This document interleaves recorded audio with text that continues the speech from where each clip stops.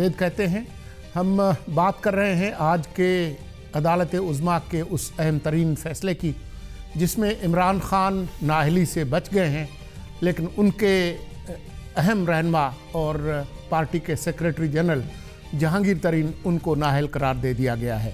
ہم اس فیصلے کے قانونی اور سیاسی پہلوؤں پر گفتگو کریں گے۔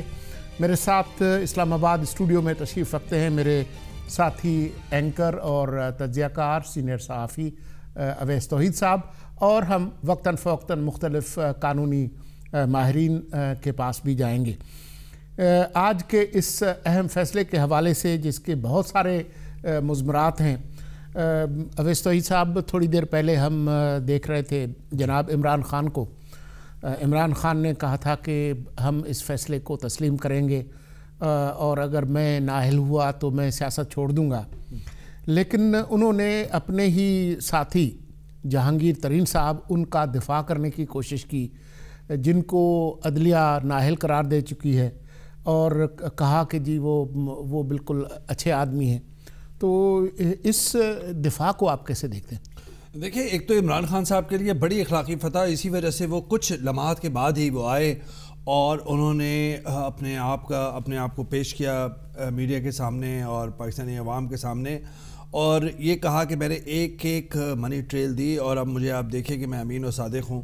تو ایک اخلاقی فتح اور آنے والے دنوں کے اندر خود جس بڑے بڑے اخلاقی ایک پیڈسٹل سے بات کرتے رہے ہیں عمران خان صاحب، روایتی جو ہمارے یہاں پارٹیز ہیں جنہوں نے اقتدار اپنا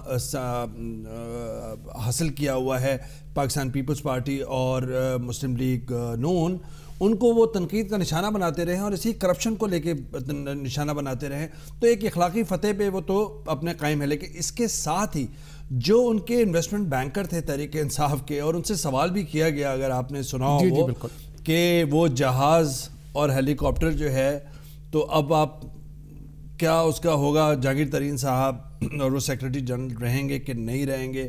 تو اس پہ انہوں نے کہا کہ پارٹی کی طرف سے وہ اخراجات اٹھاتے رہے ہیں جب بھی ان کو ہیلی کاپٹر اور جہاز کا۔ تو انہوں نے ایک طرح سے اس کو ہی برش سائڈ دوز ایلیگیشنز اور کہیں نہ کہیں وہ ٹال گئے اس بات کو۔ لیکن جہانگیر ترین صاحب کا جو ڈسکوالیفیکیشن ہے وہ بڑا سیٹ بیک ہے۔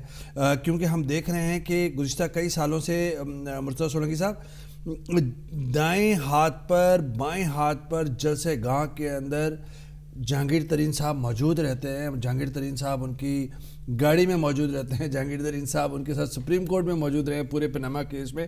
تو جہانگیر ترین صاحب کی گو کے جو ہم اور آپ پہلے بھی چرچا کر رہے تھے کہ سیاسی ان کی شناخت اتنی سٹرونگ نہیں ہے لیکن انویسٹمنٹ بینکر کے طور پہ ان کا نااہل قرار دے دیا جانا ایک بڑی ضرب ہے ایک بڑی چوٹ ہے لیکن سیاسی طور پہ نقصان نہیں ہوگا لیکن اس کے اندرونی طور پہ پی ٹی آئی کے اندر بھی اس کے اثرات ہوں گے کیونکہ ہمیں پتہ ہے کہ جب انٹرا پارٹی کے اندرونی سیاست میں وہ ایک اہم کردار انٹرا پارٹی الیکشن جب ہو رہے تھے سورنگی صاحب تو پھر شہمود قریشی صاحب اور ان کا ایک طرح سے صف آرائی ہو گئی تھی اور پھر ایک صلاح ہوئی سالسی ہوئی تو وہ کافی خوش ہوں گے میرے خیال میں اور ان کا پورا بلاک۔